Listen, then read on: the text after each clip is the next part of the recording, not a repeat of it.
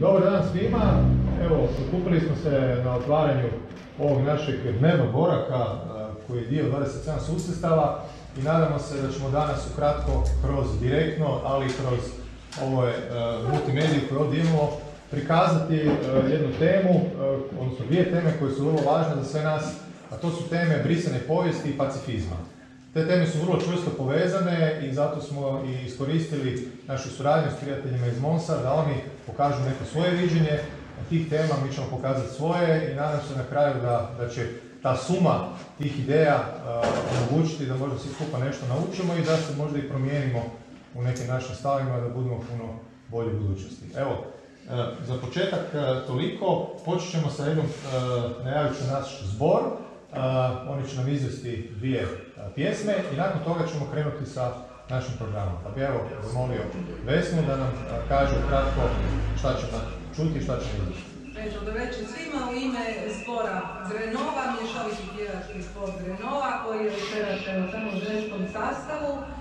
Vodi nas voditeljica je Erika Srebov, maestra i maestro koji nas prati za klavijaturama Mladen Žmak. Izvešćemo večeras naravno našu neformalnu drenovsku himnu Drenova, a nakon toga i himnu, službenu himnu našeg grada. A za kraj, nadam se da će biti dovoljno vremena, želimo otpjevati Jaltu iz mjuzikla Jalka Jalka, neka cijeli ovaj svijet, što je jedna univerzalna poruka mira. Mislim da nema bolje u ovom trenutku i za ovakvu jednu, jednu manifestaciju. Hvala.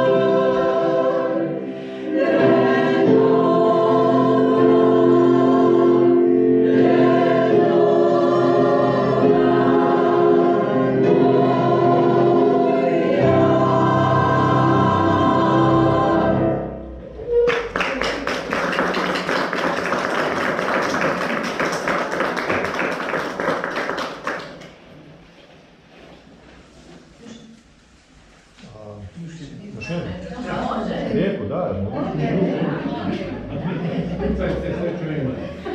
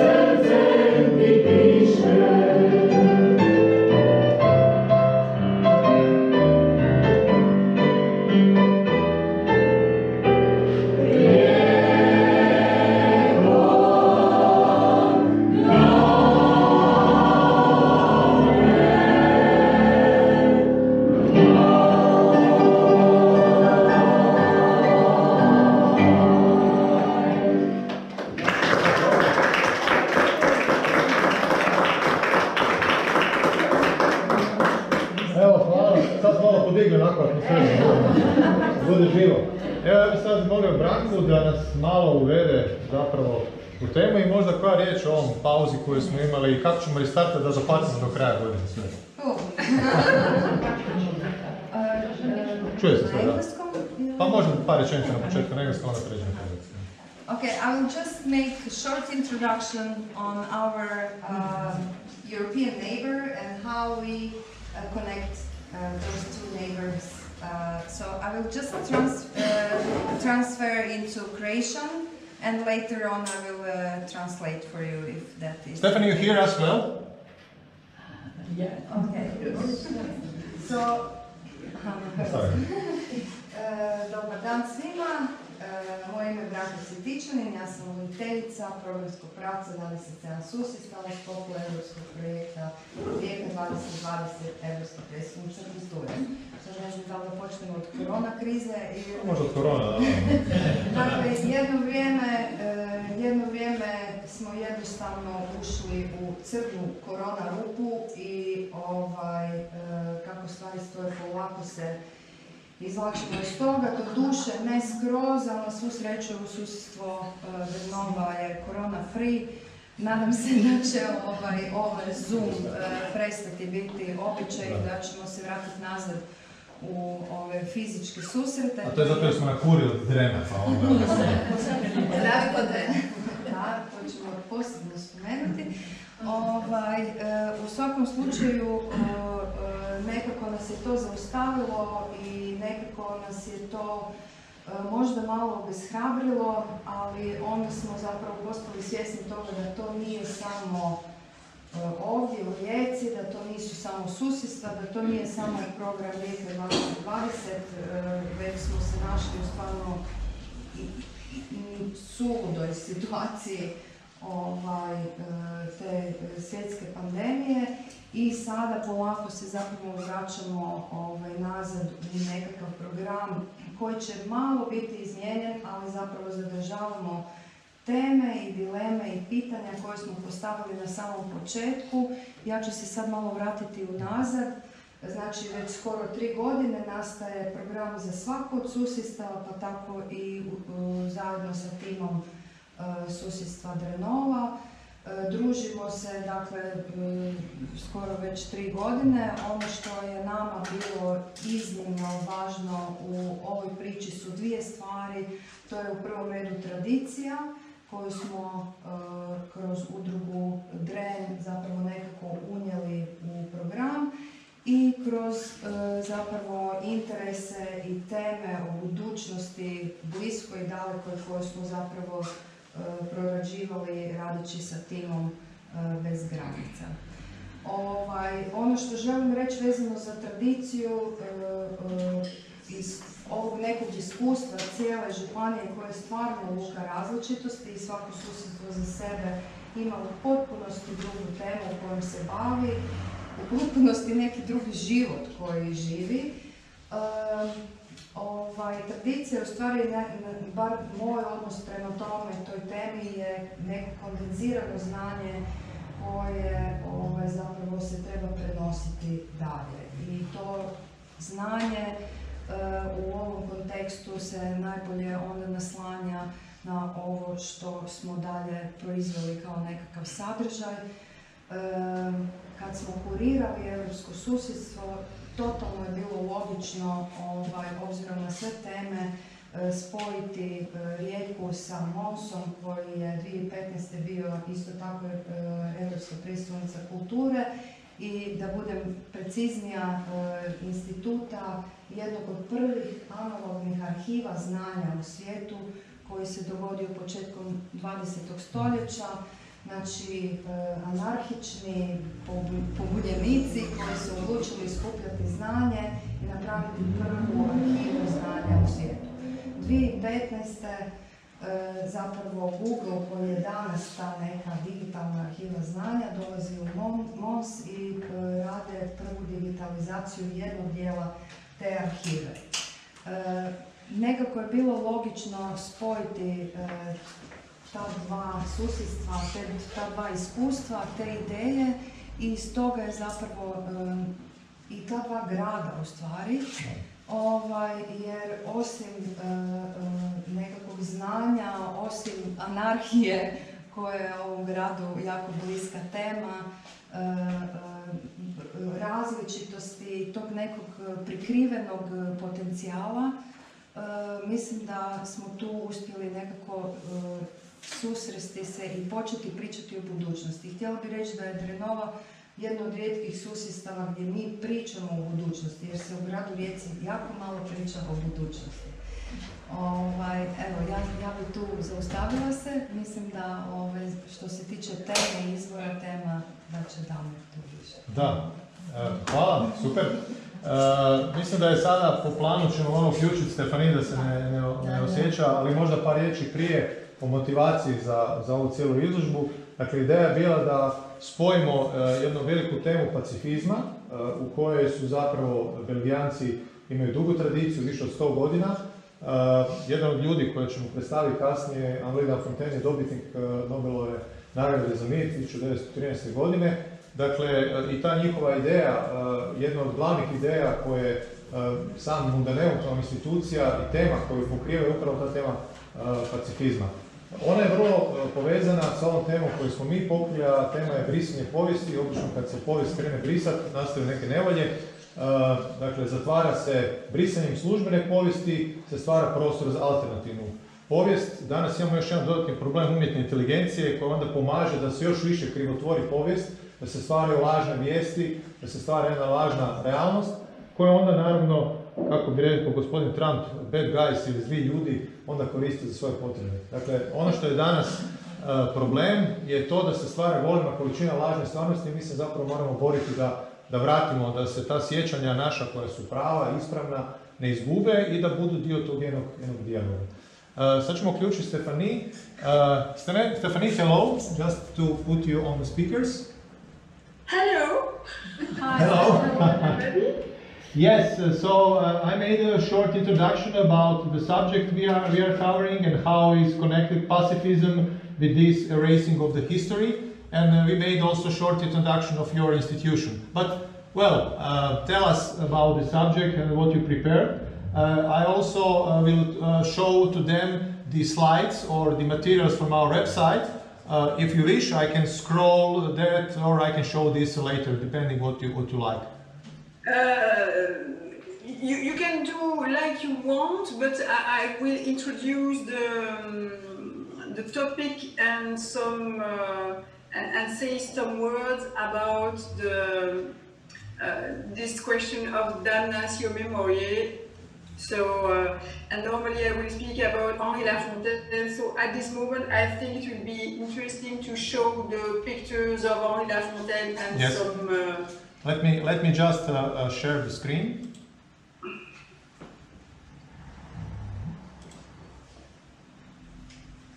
So in waiting this preparation, I'm very pleased to, to be with you. And uh, I'm very uh, excited to, to see the, the wonderful atmosphere that I feel uh, some months ago. And so I'm very happy to see you and to be with you. Thank you for that. And thank you for all the efforts. So to prepare my speech for the opening of this exhibition, Damnatio Memoriae, I've looked for articles with several points of view about the question of history, memory, and forgetting, and the political implications. I suppose that you translate uh, Damnatio? Well, I can, we can do it. Da. Dakle, uh, prevodit ćemo. Jel razumijete engleski ili trebamo prevesti? Da. Dakle, Stefanije u pripremi ovih, uh, u pripremi materijala je pregledala veliki broj članaka i te koji se tiču te teme brisanja povijesti i ona će nam zapravo sad ukratko predstaviti njeno viđenje. To je zapravo izvrsna stvar jer ona, to je neko ko je izvan. Znate sami da nitko nije prorok u vlastitoj kući, uvijek je dobro čuti drugo mišljenje. Ok, continue. Thanks to this preparation, it was possible to understand the difficulties to evoke history, memory, and forgetting without the issue of political implications. Dakle, u tome, u tom prepari- dakle, pripremanju svih tih materijala, dakle, ona je zakona da može otvoriti tu temu koje su, eh, kakve su političke implikacije zapravo takvog jednog pristupa, brisanja i ostalih stvari koje se događaju. One. Yes? So the first article that I have found in English was edited by two authors from Brazil in 2009. Dakle, prvi, te prvi tekst na koji je naišao na tu temu je bilo od dvaju autora iz eh, 2009. godine, iz Brazila. Yes? So in the summary, uh, the precise, the author precise the intentions and the topics about recovering traumatic situations with some examples. Znači oni su u tom uh, materijalu su uh, dakle, iznijeli ta neka iskustva u rekonstrukciji uh, dakle, tih traumatičnih događaja i kako tome, dakle neko njihovo viđenje kako se tome pristupa. Yes? In this enumeration, uh, there was the, the, the battle and the war in Yugoslavia. Da, zanimljivo je da su ti Brazilci u tom njihovom uh, materijalu koji su analizirali su uzeli kao primjer rat u Jugoslaviji. And so these uh, examples were not innocent. Uh, sorry, can you repeat? We are, uh, I'm So just showing the slides of La the Fontaine. in the presentation of the examples were not innocents. Aha, dakle, u, u prezentaciji tih uh, primjera su bili uh, ljudi koji nisu nevini. Da, niko nije nevin, ne? So the politics of just memory with regard to crimes committed in the past, a debate in which various academic areas as well as society in general have been involved, depends on processes of selection and also on elements which extend beyond the scope of human reason. Da, da je ovo dugačko je bilo, ali uglavnom ideja je ta da nekakva interpretacija te povijesti uh, je ovisi na, naravno onome tko ju interpretira i ovisi zapravo o tom nekakvom razumnom, razumnom pristupu toj interpretaciji. Yes? So This is important to extend our understanding of history, memory, and forgetting, emphasizing their limits as well as their ethical and moral implications. Da, dakle, za to sve skupa je važno imati na umu koje su etičke i druge implikacije ako ne prepistupamo tome korektno. Ja to prilično slobodno prevodim, oh, ne popamti to. yes?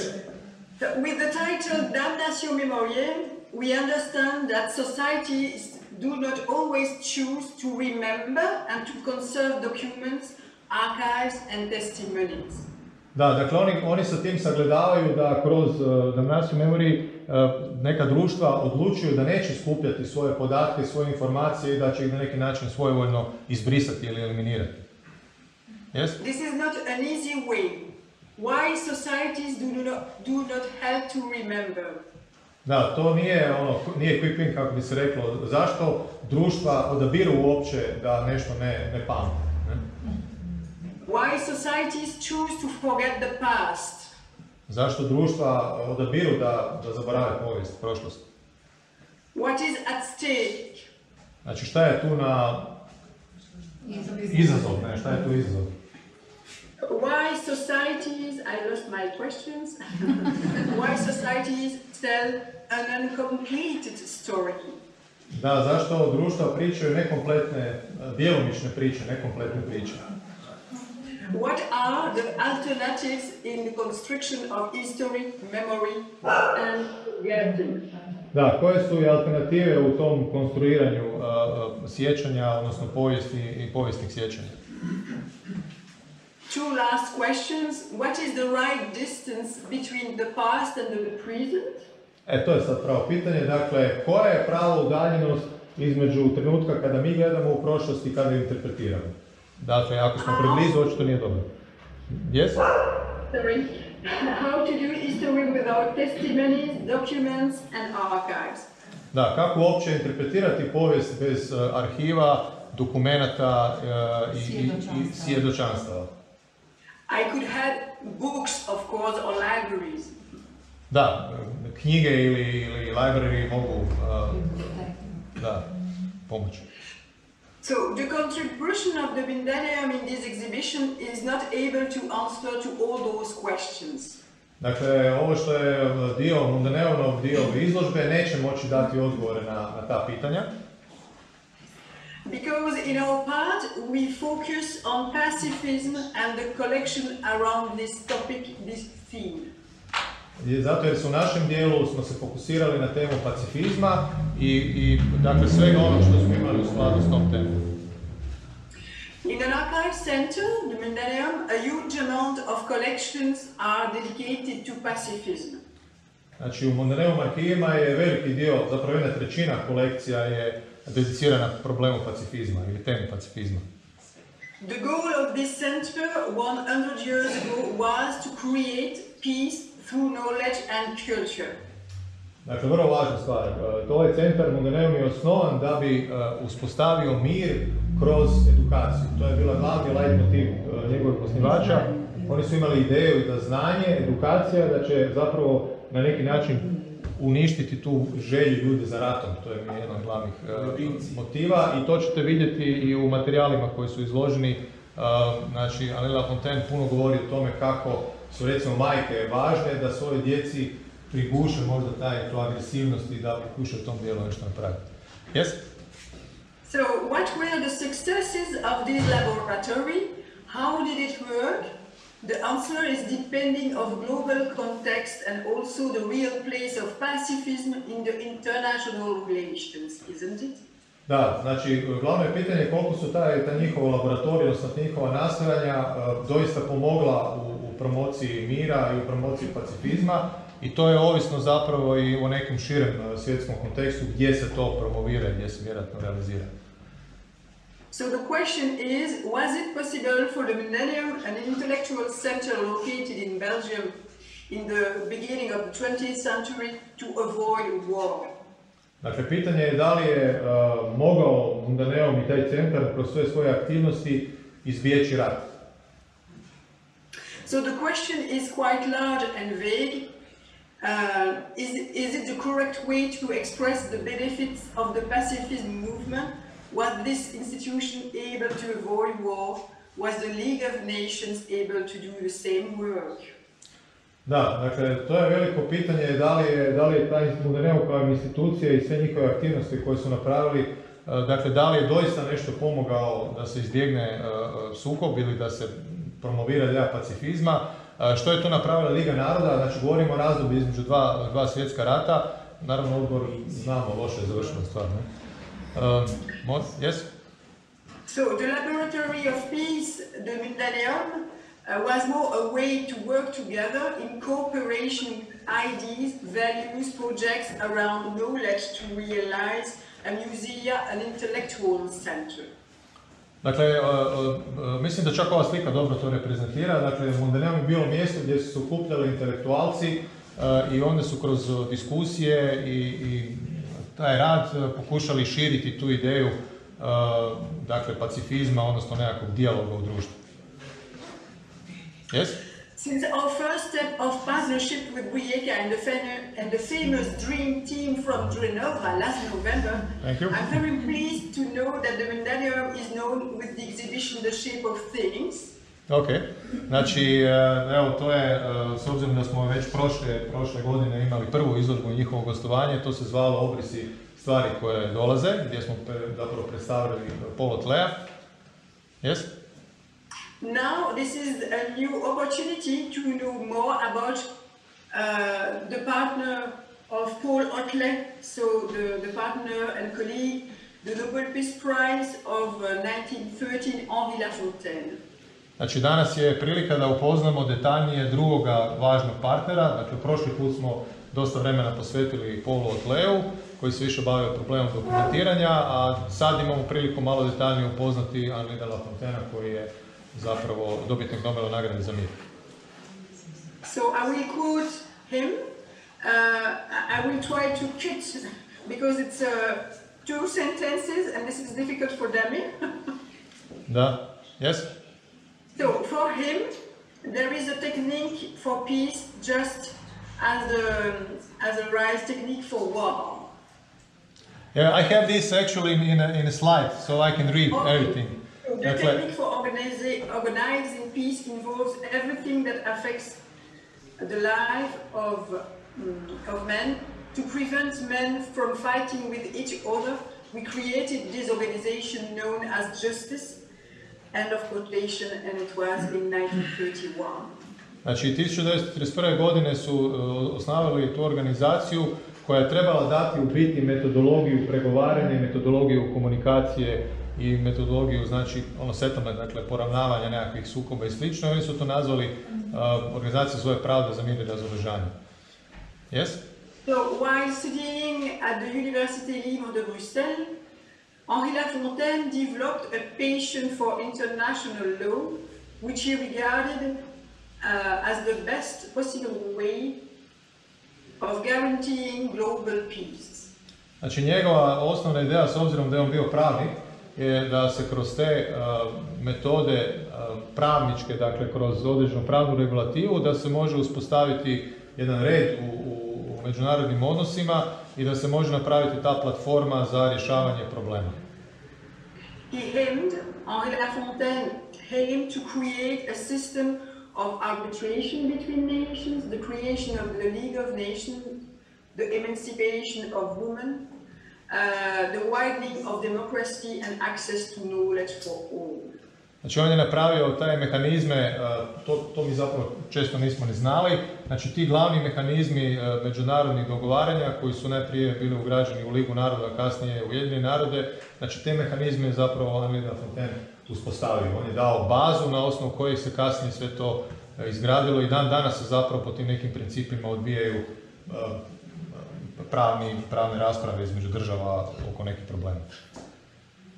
Yes? So Henri Lafontaine was a key figure in the pacifist movement that became prominent during that period from 1907 until his death in 1943. He headed the International Peace Bureau, which organized global peace congresses, and he attended to he attended the conferences of Interparliamentary Union and being elected to the Belgian Senate in 1895. Da, znači on je kroz ovo razdoblje od djelovanja od, od 1908. godine pa skroz do, do smrti 43. djelovao kroz sve razne a, dakle, institucije koje je sada upravo a, nabrojila i dao jedan vrlo ozbiljan doprinos njihovom radu. What was the opinion of Henri Lafontaine related to the construction of peace after 1918? A koje je bilo njegovo mišljenje oko konstruiranja, odnosno uspostave mira e, iza Prvog svjetskog rata? Was he, was he in favor of memory? What kind of memory? How was his opinion about Germans? Da, kako je bilo njegovo razmišljanje o, o tom sjećanju, kako je bilo njegovo a, mišljenje o Njemcima i o tome što zapravo treba a, sačuvati. How did he contribute to the new organization of society? Znači kako, kako se može doprinijeti nekoj novoj organizaciji društva. He became a technical advisor at Paris Conference of 1990. Znači postoje, postoje tehnički savjetnik mirovne konferencije e, 1919. This conference decided to set up the League of Nations, which was forerunner of United Nations. Znači ta konferencija je prethodila i omogućila je uspostavu Lige na- naroda koji su pak bili prethodnica današnjih Ujedinjenih naroda. He occupied a seat at the League of Nations Assembly in 1920 and in 1921. Znači bio je aktivno prisutan na, na, na tim susretima, odnosno na konferencijama Lige naroda u to 1921. So he was a sustain to the uh, League of Nations. Znači bio je podupiratelj uh, te li- Lige naroda, rada Lige naroda. At the same moment, the League of Nations could be uh, negative, could, could be seen as a negative institution. Istovremeno se Liga naroda može smatrati negativnom institucijom, to danas znamo, zato što ona zapravo i nije uh, mogla razriješiti sve te prijepore koji su bili između dva svjetska rata. For example, Henri Lafontaine warned about the dangers that economic and financial crisis would lead to conflict. Dakle, Henri Lafontaine je ukazivao na to da ekonomske krize i problemi i socijalni problemi mogu biti povod za ratove. He advocated the introduction of an international jurisdiction to which states will be obliged to turn in case of conflict. Dakle, jedna od ideja njegovih je bila da se uspostave odgovarajuće institucije kojima će se moći uh, narodi koji su u sukobu ili države koji su u sukobu obratiti da bi te institucije pomogle u rješavanju problema. He maintained his campaign for the establishment of an international law code that would guarantee human rights and world peace. Znači, uspostavio je radio na izradi toga kodeksa ili, ili statuta koji, koji bi, bi uspostavio pravila za te aktivnosti i pomogao uspostavi znači, nekakvog svjetskog mira. I will finish with the, biography of Henri Lafontaine with the last quote about the citizenship and the nationality. Uh, first, must be a citizen of the world, then a citizen of Europe, and then citizen of a nationality. We must consider our country in terms of the great worldwide fatherland. End of quote. Da, dakle on je, on je uspostavio tu hierarhiju da smo najprije građani, građani svijeta, pa smo građani Europe, pa smo onda građani nacije, odnosno pripadamo određenoj, eh, određenoj naciji i da, da ta hierarhija zapravo omogućava bolje razumijevanje između nas. As you can see, Henri Lafontaine was the prominent figure of pacifist movement, but how could we find a trace of his activities, his life and engagement? before? Znači, ka- ka- kako vidimo, on je bio vrlo važna osoba tog eh, uspostave pacifističkog pokreta u Belgiji, ali pitanje je koji su njegovi tragovi koje danas možemo vidjeti ili pronaći. Where is it possible to find this story? How many people could say, I know Henri Lafontaine in Belgium, the Nobel Peace Prize from Belgium?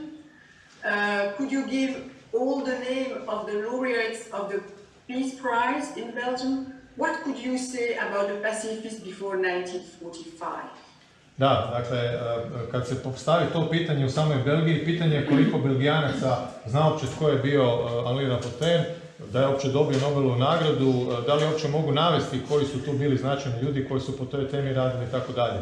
Dakle, i tu eh, svjedočimo određenom gubitku informacije ili, ili brisanju povijesti. So till now, this is rare to get a right answer. Eh, Dakle, sad je taj trenutak da, eh, kako rekla, ne znam, da se da pravi odgovor. Da. This is the reason why the Millennium is still there and is, is explaining all this history, of course. I to je razlog zašto Mondeneum i danas postoji i nastoji objasniti svu tu povijest, eh, eh, dakle svu tu povijest.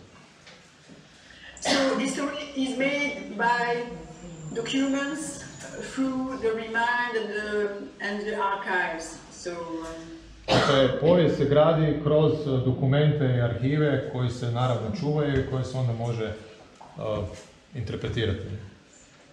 Henri Lafontaine is entered in the history more and more with books, publications in university and names on some location with symbolic actions. Znači, on je prisutan kroz eh, udžbenike u sveučilištima i kroz različite eh, aktivnosti koje se tamo provode. So he is an exception for a pacifist and the peace movement in Belgium. Uh, On je na neki način onda iznimka od svih tih ljudi, dakle možda je jedini koji je poznat iz, iz cijelog tog niza ljudi koji su predstavljali taj pacifistički pokret u Belgiji. How many sculptures, how many monuments do we have around peace in Belgium and perhaps in Croatia? Da, koliko zapravo imamo spomenika koji uh, govore o miru i o pacifizmu, uh, kako u Belgiji, ali i u Hrvatskoj. Obično imamo ratnike i vojnike, a malo peace. Dakle, we have school of peace. How many sculptures and monuments do we have around war? Da, koliko imamo zapravo spomenika uh, koji tematiziraju rat. What is the point? What do we celebrate? Victims? Victory? Heroes? Or something else? Da, šta zapravo slavimo? Da li slavimo pobjednike ili slavimo žrtve, uh, heroje ili... So I will end uh, with some explanation about what happens in Belgium uh, during this period of Corona. So the archivist from Belgium, under the impulsion of the UNESCO program Memory of the World, launched a proposal to preserve and conserve the memory of Corona. Da, dakle, evo, uh, u Belgiji uh, su krenuli s jednom inicijativom da se svakako sačuva i uspomena na koronu. So the goal was to collect many things to let fill this period. Znači, ideja je bila da se pokupi, prikupi što više materijala iz tog perioda. So the Millennium has participated to this collect in April with three topics of the Archive Center, pacifism, feminism and anarchism. Znači, uh, u- Mundaneum će sad pri- prikupiti, isto prikuplja te podatke kao i ovi drugi.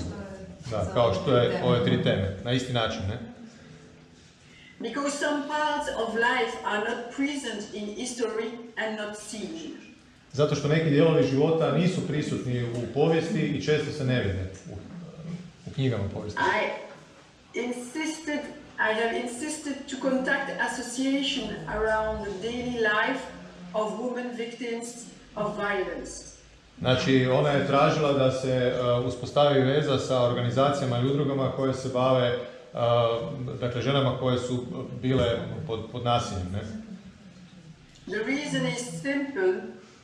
Private history is quite limited in sources, documents and archives. Da, dakle, činjenica je da su privatne, dakle, privatna povijest uh, koja je često traumatična, nije prisutna u arhivima.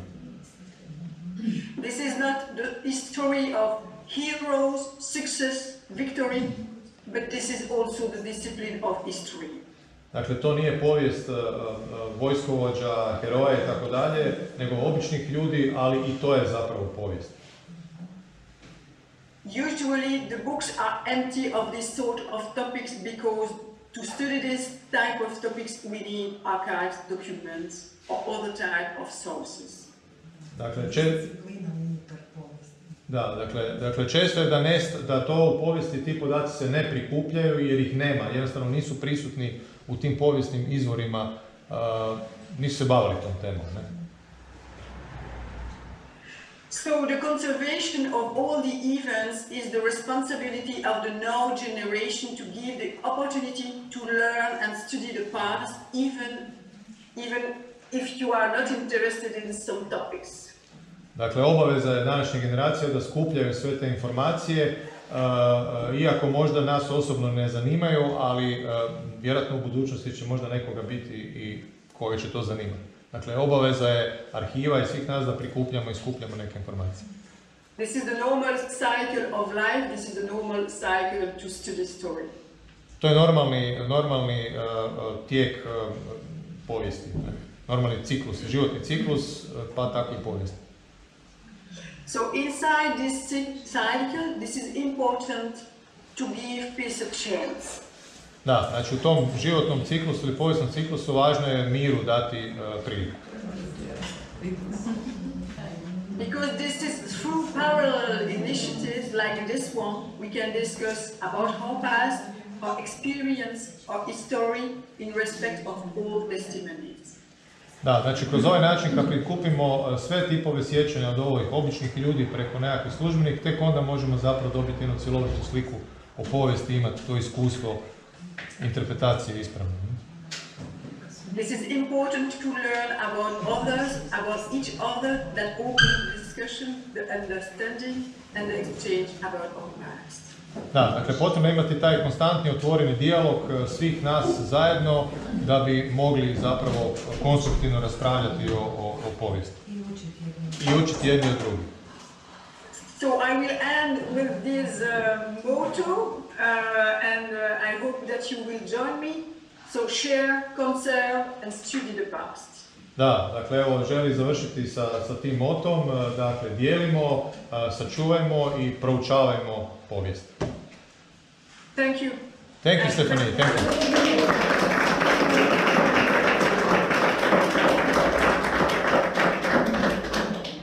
Znači, e, ja bi sad e, vam pokazao, zapravo ova je dobra prilika, e, ova naša inicijativa i, i ova izložba je zapravo u jednoj većoj mjeri ili gotovo kompletno digitalna. Sve ovo što danas budemo ovdje razgovarali, u biti imate u digitalnom formatu, to se nalazi na, na web stranicama koje su dio našega muzeja. Dakle, tu je svaka od ovih tema koju, koju ovdje možete vidjeti i obrađena detaljno. Mi danas nećemo prolaziti kroz sve te teme. One će se u budućnosti nadograđivati. Kako sam rekao na početku, mi smo imali jednu nezgodu zajedno sa covidom i naši e, studenti sa filozofskog fakulteta koji su trebali aktivno sudjelovati kroz neke ankete jer je osnovna ideja bila da pitamo i mlade ljude što njima zapravo znači prošlost i koliko je to njima važno. Možda nama starijima to važnije, a njima je, je možda manje. Dakle, ideja je da ovo ne bude kraj, nego da bude početak. I ideja je da u onom sljedećem nekom druženju na jesen, da onda predstavimo u jednom dijelu i rezultate tih e, istraživanja koje će se u međuvremenu e, odraditi. E, Ja bih sada pokazao ukratko, dakle, ovi dijelovi, ovo što je pričala e, Stefanija, oni su dakle dostupni različiti materijali, ona je napravila jedan odabir iz materijala e, Mundaneuma. I tu imate u biti e, detaljne nekakve prikaze različitih aktivnosti, pacifističkih pacifista, kako su se oni međusobno družili, dakle različitih materijala, tako da se dobije u biti jedan uvid u taj trenutak u vremenu i, kako je uopće su izgledali ti njihovi napori da, da uspiju transformirati to društvo koje je u većem dijeli, dijelu bilo agresivno. Ja bih samo ovaj sam vam htio pokazati e, nekoliko ovih e, plakata koji su vrlo zanimljivi. E, oni zapravo govore o tome da treba, samo sekundu pokušavam naći, pronaći jedan plakat koji je zanimljiv. Dakle, mislim da je to ovaj ovdje. On govori o tome da treba zapravo, ideja je da se igračke i sve ono što mi danas imamo, ne ono danas nego i onda, da su igračke u jednoj velikoj mjeri izvor, dakle, kreiranja te kulture rata. Dakle, to je nešto što je pogotovo u muškoj djeci zanimljivo. Svi se, svi se nismo se igrali rata i tako dalje i zapravo je ono što su oni pokušali reći da možda treba pokušati u ranoj, tu su smatrali da majke imaju veliku odgovornost, da se djeci u toj uh, ranoj fazi možda ponude nekakve druge vrste igračaka, da ne mora uvijek biti agresija, ne mora biti uvijek nasilje i kad gledamo te iz 1931. godine te njihove inicijative, jednostavno uh, dan danas ta cijela priča držala, dakle drži vodu. Ja bih vas samo pozvao da pogledate te njihove materijale, a sad bih pokušao vam uh, ukratko samo pokazati šta je naš uh, dio uh, teme koju smo obradili. Znači osnovna ideja je bila da pokažemo da sa određenim brisanjem ili nedostupnošću oficijalnih podataka u našem službenom, da kažem službenoj historiografiji se otvaraju međuprostori u koje onda ulaze neformalni izvor informacija i to danas zapravo stvara, ja bih rekao, e, ozbiljne probleme. Što je zapravo, ako pogledamo što nam je zapravo ta cijela ideja i kad je nastala brisanja povijesti, evo ja bih počeo vrlo kratko e, sa jednim dosta šokantnim, to smo saznali nedavno, jednom šokantnom pričom u kojoj su e, e, učiteljica pitala djecu o nekim primjerima mitova, a učenik je odgovorio da kao mit o Jasenovcu da je, dakle da je, znači logor u Jasenovcu da je to mit. Ne. Znači jedna vrlo ozbiljna e, stvar e, koja pokazuje da ta, ti alternativni izvori informacija danas stvaraju dovoljno veliku buku u prostoru da onda netko dosta može i pomisliti da je to istina. E, Dakle, ovo je jedan eklatantan primjer, ali recimo postoji brojni drugi primjeri te modifikacije povijesti. Ideja modifikacije povijesti je nastala još u, u rimsko doba, e, to znamo i sami, da kad bi neki vladar e, cara zamijenio nekog drugog, e, jednostavno su imali ideju da se on briše iz povijesti. Vi sami znate da zapravo to nije bilo baš efikasno, bez obzira što su određeni, određeni likovi nestali, što su određeni tekstovi nestali, ipak je čak i ono doba količina informacija bila dovoljno velika da, da zapravo i dan danas znamo sve o tim nekim carevima koji su nestali. E, Kakva je hrvatska verzija? Pa mi imamo neke svoje, e, svoje varijante e, brisanja povijesti. Mi volimo građevinu i nama recimo često imamo taj utilitarni koncept. Znači da mi recimo evo, spomenike, stečke i sve neke stvari koje smo imali da oni završe ovako utilitarno kao nekakve to je jedna vrsta isto brisanja povijesti jer se jer jedan predmet gubi svoje jedno svojstvo i dobiva nekako drugo svojstvo. Mi ovdje na Drnovi imamo i u Rijeci puno ovih stečaka, odnosno kamena koji su granični kamenovi, oni su isto završili ljudima kao stepenice i slično. Tako da je to jedna naša varijanta građevinska kako smo mi zapravo također mijenjali. Isto tako je, često su bile prenamjene sakralnih objekata. Znači to su sve neki elementi kako smo mi brisali, dakle vi kad prenamijenite neki objekt automatski brišete njegovu izvornu informaciju. Druga stvar koja je zanimljiva što u tom kontekstu brisanja ili, ili promjene vam je pitanje toponima. Dakle, ja pozvam pogledajte detaljnije e, ovu cijelu priču kako se kroz neku povijest tamo od 1675. kako su se neki toponimi mijenjali. E, I kad gledate tu našu povijest od preko 300 godina, tek negdje na kraju cijele te priče smo mi zapravo došli Znači, e, u, u, u, u, tek sa, sa, sa SFRJ, odnosno sa Hrvatskom, smo zapravo došli u situaciju da su se konačno kod nas pojavili u cijelosti ili u punoći ti naši narodni, točni, ispravni toponimi. Tako da je to jedan drugi element e, brisanja, obično koji imaju e, okupator ili neko ko zauzima neko područje, prvu stvar koju će napraviti, evo, kao, kao taljani, oni automatski kreću u nekakvu taljanizaciju uh, nekakvih toponima. Evo, to je prvo što su napravili. Prva uredba je da, ne znam, Crni je postao Bosconero, Jerenje Čevi i tako dalje. Znači, to je neki drugi element koji omogućava ta promjena toponima. Evo, pozivam da malo detaljnije to pogledate. Uh, treća stvar koja, je- koja nas je dosta zanimala i tu ćemo onda sada malo uh, popričati o jednoj uh, problemu, dakle da li ovo nije samo brisanje, nego zapravo jedan problem promjene jezika koji e, zapravo e, neke riječi koje, koje imamo u nekom određenom vremenu, one polako gube svoj neki smisao, dobijaju neki novi smisao i te riječi se zamjenjuju. Evo s nama je e, Benedikt, pa evo predlažem e, Benedikt Perak sa, sa sveučilišta Rijeci, sa fakulteta, pa bi ja evo s njim, otvorit ćemo zapravo jednu prezentaciju, da malo to iskomentiramo, naime, e, opet je prilika da kažemo da se hrvatski jezik zaista ono, tisuću godina se borimo za, za mjesto pod suncem. Najprije smo imali probleme sa, sa tim stran, dakle sa stranim jezicima i tako dalje i sad kad smo dobili konačno taj naš jezik, onda imamo zapravo jednu prirodnu transformaciju ili, evoluciju tog jezika. To je jedan normalni prirodni proces u kojem neke riječi pojavljuju se i nestaju. I sad ću tebi predati, ovo samo ću otvoriti slajdu jer unutra imamo one zanimljive grafove. Pa ćemo to malo pogledati.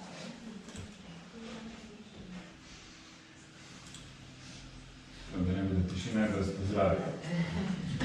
Drago me se vidjeti. E, moram priznati da sam ja tu samo privjesak, tako da kažem, e, sa jednim malim aspektom svega toga. Većinu ovog što ovdje predstavljamo dio je istraživanja koje je Damir napravio i zapravo em, svojim, svojim entuzijazmom zapravo možemo svjedočiti i koliko je to zanimljivo.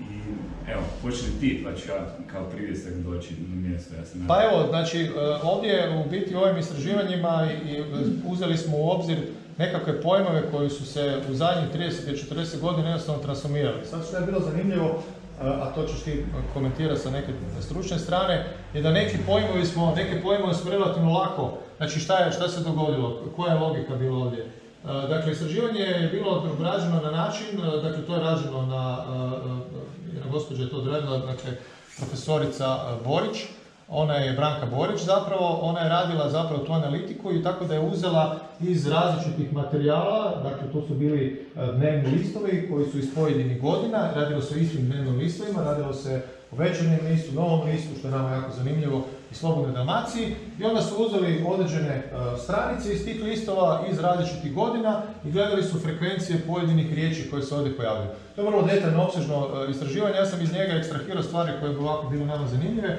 Dakle, ovo što je zanimljivo je pogledati kako dolazi do promjene nekakvih riječi, kako su se one ranije koristile frekvencije i kako se sada pojavljuju nekakve nove riječi. Vidjet ćete što je zanimljivo, da kod nekih riječi se to uopće nije dogodilo, da su neke riječi smo i zadržali, neke smo i izgubili i, e, i mislim da je to ono što je zapravo najzanimljivije. Evo ovaj primjer zgodan aerodrom iz Zračna luka pokazuje da zapravo smo relativno brzo napustili aerodrom, mi sad više manje svi koristimo e, pojam zračne luke. Aha. Pa, mislim, e, moram se vratiti ovdje, zapravo. Dakle, što se tiče nekog jezičnog sustava, zanimljivo je spomenuti zapravo da to nije isto kao primjerice toponimi, dakle, koji imaju jednu institucionalnu komponentu i onaj koji ima bazično vojsku, okupira sve to, on nametne svoju instituciju, svoje zakone, svoje ljude, postavi u na mjestima koje onda šire, dakle, tu nekakvu konceptualizaciju, odnosno verbalizaciju onog što želimo istaknuti kao vlastiti identitet.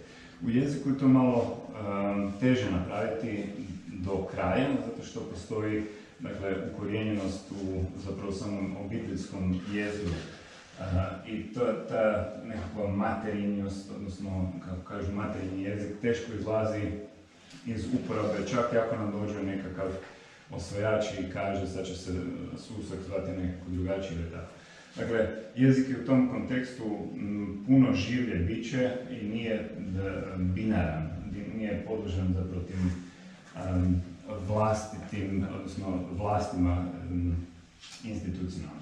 Dakle, u- tom kontekstu treba gledati te frekvencije na koji način se zapravo dešava ulazak određenog leksema, odnosno riječi i nadomještanje nekog drugog leksema tim novim leksemom kao neku vrstu živog procesa koji je uvjetovan jednim dijelom Dakle, svakako i zakonodavnim okvirom, dakle, morate sad tako tako reći, dakle, sad će se to zvati zračna luka jer stoji u svim institucionalnim okvirima, ali s druge strane tu imamo i dakle, uvriježenost, odnosno konvencionalnost koja proizlazi iz dakle, toga kako su ljudi razgovarali, koliko upotrebljavaju određenu riječ i koliko je ona njima umrežena u sve ostale pojmove s kojima se sluču. Dakle, ne možemo sad na jedan put uvesti nekakav pojam fifi fifi i e, tražiti od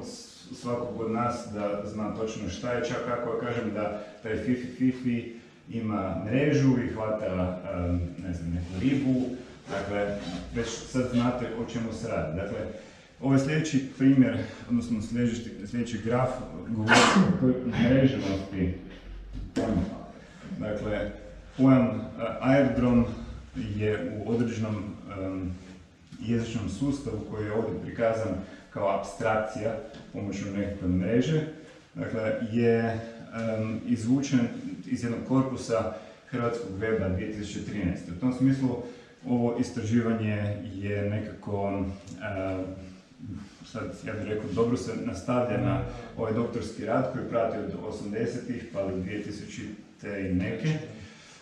I tu zapravo vidimo na koji način se e, aerodrom onda na neki način uklapa u svu ostalu masu pojmova koje e, ljudi imaju. I sad, ova, ova tu, ne znam koliko možete vidjeti, dakle, skupina riječi koja se stručno bi se nazvala kao klaster, ima veze sa auto, aerodrom, kolodvor, željeznica, autocesta. Znači, kad idemo negdje, nećemo ići vjerojatno na zračnu luku, dakle, vjerojatno ćete reći idem pokupiti nekog na aerodrom.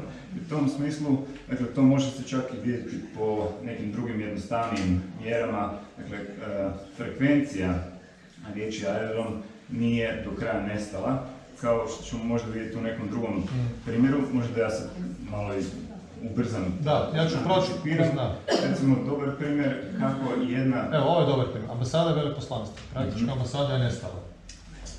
Iz službenih, e, odnosno novinskih članaka. Dakle, tu treba uzeti u obzir i taj kritički jedan odmah, e, dakle, da gledamo ovdje sad grafove službenih glasila, znači novi list i tako dalje.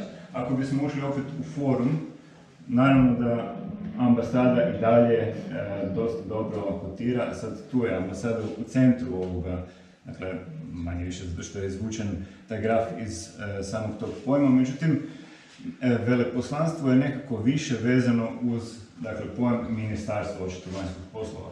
Međutim, ambasada i dalje je povezana sa zastavom, sa jezikom, dakle to su određeni e, institucionalni emblemi, tako da kažemo, koji povezuju e, određenu naciju sa njezinim e, identitetom, pa tako i ambasada je svakako dio, ali ne ministarstva više, nego više vezan uz, dakle, kako ovdje pokazuje zastavu i jezik. Dakle, ja bi to tako nekako abstrahirao, ako se može. Dakle, ovdje smo dosta pojmova, nećemo sad kroz sve e, prolaziti, ali ako čisto... ima, Da, ako ima jedan skla- recimo skladba i kompozicija, da. Recimo, em, da li je neko prije, ma, mogu pitati em, ako gleda test, vidim da je sigurno komuniciralo na hrvatskom prije 90-ih. dakle, da li, ste, da li ste nešto zvali kao, e, ovo mi je dobra skladba? To niste, niste nikad izgovorili. Mislim da je normalno čuti, ali ne, ne, ne govorim. Da, da. Ali recimo ovdje pokazuju da je taj skladba zapravo bio sinoniman kompozicije. Dakle, lijepa kompozicija, kako je to neko skladao, mislim skladao, ja sad govorim kako je komponirao to nešto. Dakle, tako bi se reklo to prije, ja mislim, 90-ih, sad to bi trebalo potvrditi malo bolje. Tu je predavno profesorica Dijana Stolac, tako da što god kaže da moram meta, meta kognitivno provlačiti. Relax. Ali da, ali hoću reći, dakle, ako nešto krivo kažem, svakome ispraviti. Um, da, ali em, sad kad pogledate kompozicija, na neki način, da li neko ima neko drugo značenje, ako imaš taj graf, možda za kompoziciju. Dakle, kad pogledamo s čim je sad umrežena ta kompozicija, ne, Nemamo sve, znaš, imamo neke samo. ti, ti, evo, Evo, evo, ali nema grafa. evo ga. Ne, ovo je bio za skrb, nemamo za kompoziciju. Dobro. Dakle, kompozicija je u određenom smislu dosta polisemičan pojam. Dakle, vrlo em, puno značenja vuče na sebe. Za razliku skladba, dakle, jedan dobar dio, u stvari mreže se odnosi te skladbe veći dio na pojmove iz muzike, odnosno glazbe, odnosno skladba i glazba. A kompozicija, pogledate, bi e, jednim dijelom išlo u vizualnu sferu, znači nekakva kompozicija nekog dijela ili tako. U tom smislu, neki put se može reći da uvođenje novog pojma ima smisla, jer zapravo e, zadobije određenu semantičku domenu i dobro je označi i izdvoji iz potencijalno polisemične domene kao što je bila ta kompozicija i u tom smislu često se onda dobro um, upije u tako da kažem. Dakle, uh, uspješnost nekog novotvorenice, ako možemo to uopće zvati novotvorenica, svakako nije, ali uh, naglasak na uporabu u određenom kontekstu može biti u stvari povezan upravo sa time da nema određenog e, leksema za specifičnu domenu i da je onda je dobro došao. I tu mi se čini da bi onda trebalo to sad nazvati ne samo e, zaborav, nego i obogaćenje jednim dijelom. U tom slučaju da li je uvijek uvođenje novog samo zaborav starog jednim dijelom, ali e, da li se obogaćuje um, riznica Hrvatskog u jednom smislu svakako da. E sad pitanje na koji način se to provodi, koje su um, je li stegovne procedure vezane iza toga ili nekakva edukativna komponenta da li naglašava um, razložno ili bezrazložno određene komponente. Da. Ne znam, možda da... Da, evo uglavnom, ovoga, ja bih vas pozvao, uh, s obzirom da nemamo sad i vremenski, malo smo u tjesnacu, ali ja bih vas pozvao da pogledate malo web stranice i to je zanimljive su, evo recimo vidjet ćete te frekvencije, kako se pojavljuju i kako određene riječi imaju utjecaja, nestaju, evo zanimljivo, direktor i ravnatelj, direktor je i dalje vrlo izdržljiv, vidimo da je to kao pojam. Ostalo. Uh, recimo, evo, putovnice i pasoš je drugi primjer gdje je pasoš nestao iz nekakvog, eh, nekakvog jezika i tako dalje. Obhodnja patrola i tako slično. Dakle, tu smo odabrali određeni broj pojmova koji su ovako bili eh, radnik je isto eh, prilično izdržljiv. Imali smo stalno radnike i onda se to vratio. Znači sad je opet radnik nazad i, opet radimo. Ali, ali, ali zanimljivo je taj a,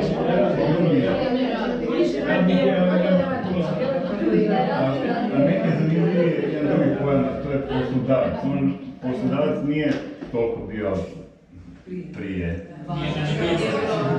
Ali kad razmislite malo e, o, o tome kako ta riječ uspostavlja odnose u onom neoliberalnom smislu, znači vi dobijete posao od poslodavca, vi ste posao primac. Mislim, to je isto mnogo.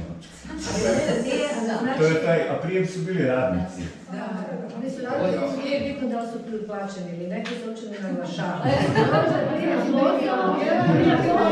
prima pomoć. To su sve. Da. E, Evo, dobro, ništa, Ben, hvala na, hvala na, na ovome, ali ideja je bila, ideja je bila zapravo...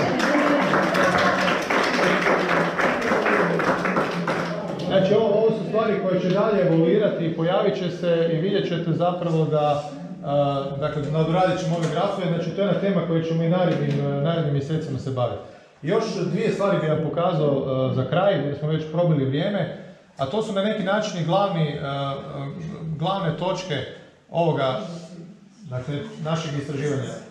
Činjenica je da u jednom razdoblju tamo negdje od 90-ih e, na ovamo, kad pogledate zapravo, e, recimo ovu izjavu Slobodena Prospera Novaka iz 1996. godine, e, prilično jasno je rečeno da se treba zapravo e, to sve što je u našim knjižnicama i što imamo po hranju u bibliotekama i tako dalje, da treba napraviti određeno čišćenje tog materijala. To je neki puta, što je naravno legitimno, dakle došlo je do određene promjene društvenog sustava, jasno je da je jedna velika količina i, knjiga koje su se nalazile u tim arhivama, e, dakle bio možda i zastario, nepotreban i slično, međutim ta cijela e, procedura kako, je, kako se radilo odstranjivanje e, tih sadržaja je problematična. Dakle u tom e, cijelom e, odstranjivanju nastradao je jedan dobar dio e, normalne literature, evo ovdje imamo neke stvari, vidjet ćete na ovim drugim ekranima prestojne, dakle se, predstavljene, o nekim dječjim knjigama. E, Činjenica je da je nekakva osnovna teza i zaključak je bio da smo nažalost u tom procesu čišćenja izgubili jako puno kvalitetne literature iz nama susjednih zemalja, iz nama susjednih država. E, izgubili smo kvalitetne njihove književnike, a dobili smo ono što sam na početku rekao, nekakav trash. Ne? I e, to je vjerojatno jedan od problema. E, onaj, to istraživanje, ono što je zanimljivo, taj proces e, čišćenja, eliminiranja dokumentacije iz i, knjiga je bio dosta onako tajnovito napravljen. Inače, gospodin Liša je, je profesor koji je umirovljen, on je bio na ekonomskom fakultetu u Zagrebu je, je predavao i on je zapravo radio na, na Korčuli su, suportirao je zapravo snimanje te rad Korčulanske knjižnice i onda je jednom trenutku shvatio da su zapravo golema količina tih knjiga jednostavno nestale. Ne? I onda je išao istraživati i tako je nastalo zapravo jedino e, malo konkretnije istraživanje na, na hrvatskom prostoru e, tih knjiga koje su na razno razne e, načine nestale. Sad je zanimljivo da su tu kroz neke naputke, neću sad to prolaziti, to možete na miru pročitati kasnije, je bilo definirano kakav tip literature zapravo kompletno treba izbrisati. Ovo je jedan primjer literature gdje zaista bi se dalo raspraviti je li ta literatura treba i ne treba. Vjerojatno kad je vrijeme prošlo, e, sustav je nestao, pretpostavljam da ne treba, e, ne znam, mogućnosti marksističke estetike, to je vjerojatno nekako koje bi to danas zanimalo, ali nije, nije stvar u tome, nego je stvar u tome na načinu kako su knjige e, eliminirane završile su na, na ovom. Ono što je jedan od problema koji se pojavio u ovoj cijeloj priči je da je zapravo izgubljen jedan ogroman fond knjiga. E, Tvrde po različitim kalkulacijama negdje oko 2,8 milijuna knjiga je zapravo uništeno u- Hrvatskoj, što je ogroman e, jedan broj. E, Naravno, neke knjige su bile uništene, odnosno eliminirane su ratnim razaranjima, to ću vam sada pokazati, ali jedan dio knjiga je zapravo i nesto završen na otpadima ili ili namjerno uništen. To se radi o velikom fundusu. Ono što je možda problem, dakle, je što je nestala jedna golema količine tehničke literature. Ja sad to govorim sa nekog svojeg inženjerijskog stajališta. Naime, mi koji smo inženjeri, koji smo učili, mi smo se učili iz neke literature, Demidović, matematike i tako dalje. Tehnika i matematika, Aspen i slično, to ne nestaje, to se ne mijenja. Dakle, to takve neke knjige su vrijedne, pa makar bile možda i, i za podobni bili. dobro, e, govorimo o sadržaju. Dakle, tehničke enciklopedije su nestale, uništene su i slično. Najbizarniji slučaj koji, na koji smo navetili, odnosno koji je u tim e, istraživanja naveden vam je e, paljenje e, vojne knjižnice u, u, u Zadru, gdje je negdje oko, ne znam, 30 tisuća vojnih karata izgorjelo. Ne? I sad je to veliko pitanje, mislim, logično karte i kartografija i te, to je važno u krajnjoj liniji za, za nas sve skupa, u krajnjoj liniji za, za vojsku, ne, to je zapravo neko zapalio i sve izgorilo. Dakle, to vam pokazuje kako u nekom trenutku e, cijela ta ideja da se izbriše zapravo e, određene jezik i tako dalje je bio potpuno nerazuman. I sad ono što se isto dogodilo, i to ovdje imate na nekim od ovih panela, je da su nestali i, i e, lektira, da je nestalo iz lektire knjige tipa Pirga ili, ili Ježeve kućice ili ne znam, dakle takvih nekakvih, e, nekakvih radova koji nema nekog posebnog razloga zašto nestali. Oni su mogli biti okarakterizirani kao, e, e, dakle, ove koje, koje su od e, pisaca koji tipa Jovan Jovanović Zmaj trebalo jasno deklarirati da je to dakle, srpski pisac iz druge zemlje, a nije- nije ga trebalo se potpunosti eliminirati. Dakle, to je jedan od, od problema, da je puno tih tema, puno knjiga je izbačeno i vjerojatno nisu zaslužile i malo detalja o tome možete vidjeti. Za kraj bih vam prikazao ovu mapu koju smo napravili, ona vam pokazuje zapravo taj uh, knjigocid, kako on to naziva. Dakle, tu imate točno po svakoj lokaciji šta se dogodilo i kakve knjige su nestale, koliko ih je nestalo u nekom području. Evo, sada ako uzmemo recimo primjer ovoga uh, Zadra, možemo vidjeti šta se tu zapravo dogodilo i možemo vidjeti da je, ne znam, ili u Benkovcu, da ima nekakve privatne uh, knjižnice su uništavane i slično. Dakle, jednostavno kroz ovakve možete pogledati, evo, to je taj primjer. Znači, u Zadru u vojnoj knjižnici uništeno je 100.000 vojnih karata i, dakle, 60-80 tisuća knjiga. Dakle, to je sve neka literatura koja sigurno je mogla imati određenu. 23 dana su gorile uh, te knjige u vojarni. Znači, evo, to je jedan od, od uh, problema s kojima, koje treba jednostavno adresirati. I ovdje u sklopu te teme smo evo spasili mi iz jednog skladišta da ne završi na smeću. Jedan, dakle, jedna izdavačka riječka kuća je propala i sad umjesto da to sve zav- završi u smetlištu, mi smo to spasili i ovdje se nalaze neke zanimljive knjige i pozivamo vas da kad budete otišli čar da odaberete što vam se sviđa i da uzmete i spasite jednu od tih knjiga. E, Da, da, spalite, da. Da udomite neko od tih knjiga. I e, dvije još teme su e, zanimljive i, i moći ćete pogledati malo to se skupa detaljnije. To je jedna tema isto o kojoj smo nešto manje, nešto e, ranije rekli, a to je bila ta, ta priča o, o tome da smo izbrisali zapravo e, Jugoslaviju kao jedan pojam. Dakle, mi smo živjeli zapravo u toj državi 45 godina i onda odjedanput je, je se dogodilo to da smo mi nestali. Nastala jedna crna rupa i vi kad danas gledate neku službenu literaturu, događa se prilično bizarna situacija da toga uopće nema. Neću prolaziti kroz sve neke elemente ali, e, ovog teksta, ali činjenica je da jedna razina sjećanja koju mi imamo nam ne može nitko oteti. To je ono što je i Stefani uh, rekla na trenutku. Dakle, nije sva povijest i nisu sva sjećanja zabilježena, nisu sva službena, mi svi u nama nosimo nekakve sretne trenutke. Dakle, nije to bila baš neka mračna tamnica u kojoj se ništa nije uh, događalo, kao što neka, neko tvrdi. Dakle, postoji taj cijeli sloj nekakvih uh, osobnih, privatnih sjećanja na neko doba kad je bila ova industrija u, u, u bivšoj Jugi, kad je možda bilo nekakav drugčiji život, možda... Gdje tu? Molim? Gdje je Lidl tu? Da, gdje je da, nema, nema Lidl tako dalje. E, tako da to, evo, pozivam se da to malo pogledate. E, I zadnju stvar koju bih vam htio pokazati je po meni prilično e, kontroverzna tema, a to je tema e, kako je e, danas tehnologija postaje strašno opasna. Ne morate se bojati za sada nekakvih robota koji će vas negdje ubiti, ali se svako trebate bojati laži. Znači, živimo doba laži, živimo doba gdje je laž postala normalna. Imamo jednu nevjerojatnu situaciju da, da, da, da predsjednik e, super sile, najjače svjetske države, izrekao 18.000 laži u, u, u, tri godine, što je nevjerojatno. Dakle, znamo svi da su svi malo, svi su malo, ovoga, svi malo su morali muljati, ali ovo je zbilja jedan eklatantan primjer. I sada šta se zapravo događa sa, sa tehnologijom umjetne inteligencije? Dakle, jučer ste imali ovakve neke situacije, to je recimo u Rusiji bilo, uh, bilo popularno, pa su ljude grecali, brisali van kako bi neko nestao, tako bi, tako bi izbrisali čovjeka. Ne znam da li ste danas gledali uh, Facebook, vidjeli ste kako je nestao, da. Snimanja HDZ-a, to je zapravo jedan sjajan primjer koji pokazuje da taj mindset brisanja je i dalje prisutan. Znači, to je jedan- problem ove cijele... to je. Da, njene cijele priče. E, tu ima nekih filmova. E, jedna velika tema brisanja je i ova hrvatska tema, to je Blajburške tragedije, gdje je objektivno e, ta tragedija bila preko 40 godina izbrisana. O tome se nije znalo, nije se govorilo, e, nije se istraživalo jednostavno tek kad je uspostavljena Slobodna Hrvatska, onda su te teme otvorene. Koliko god je cijela tema kontroverzna, činjenica je da je ona bila potpuno prikrivena e, i sakrivena od većine ljudi. Danas imate jednu situaciju i sad dolazim na, na temu umjetne inteligencije. Dakle, umjetna inteligencija je danas toliko moćna da ona u Kini vam briše recimo svaki spomen na Tiananmen. Dakle, sve ono što se dogodilo na Tiananmenu, vi ako ste u Kini, ne možete niti vidjeti ovu informaciju, ovo je slika koju smo, ja mislim, svi zapamtili, ovog hrabrog čovjeka koji stoji ispred sliku. Tu sliku u Kini ne možete vidjeti. Dakle, sustavi umjetne inteligencije automatski traže te slike, brišu, a ako vi post, postate takvu sliku, automatski je briše i, i ono. I još vas to i je- kazni. i još dobijete kaznu i tako dalje. Dakle, to je vrlo opasna jedna, jedna situacija koja se događa. E, mi imamo ovu hrvatsku varijantu brisanje ili, ili, ili promjene povijesti, to ono kad su na Bašćansku ploču bili ubacili ovo za dom spremni.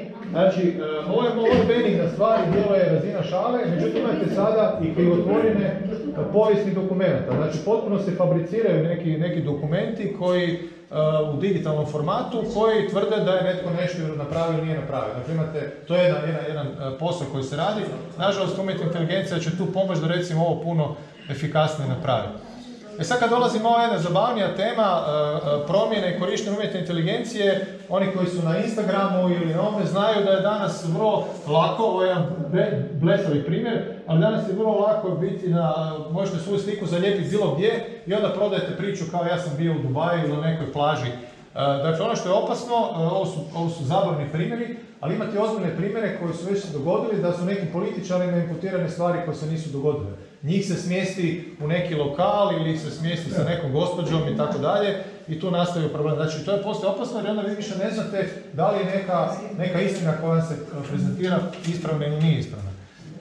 E, I za kraj, e, ono što se događa, ovo je jedna tema kojom se ja inače bavim, to su generatori lažnih vijesti. Danas imate ono što je vrlo zanimljivo, ti generatori lažnih vijesti vam se nalaze, najjači su u Sjevernoj Makedoniji.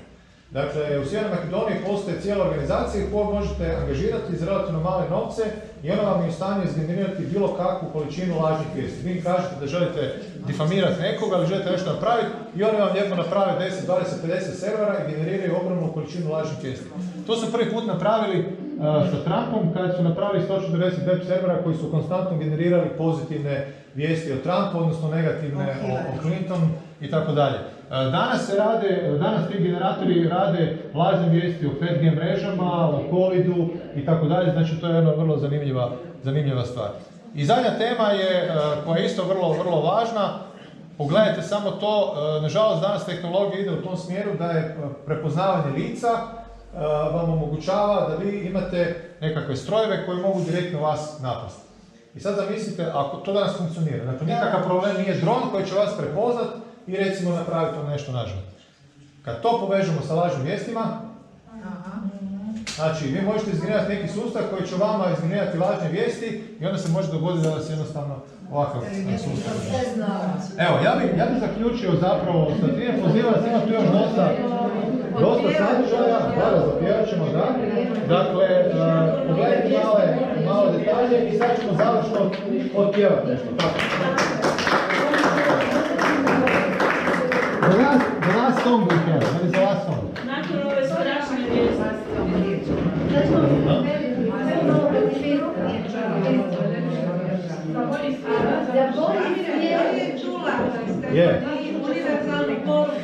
Šalju. Now we have the universal message of peace for the end.